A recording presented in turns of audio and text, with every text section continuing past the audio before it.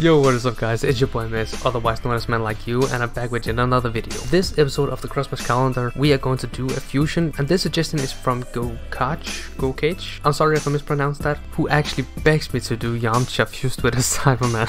it's a bit, it's a bit ironic I guess. If you guys want to see something, leave a comment down below. Stay there. So if you guys have a suggestion of what you want to see, leave a comment down below and smash a big old like on this video, I really appreciate it. Subscribe if you haven't already and uh, yeah, enjoy this one.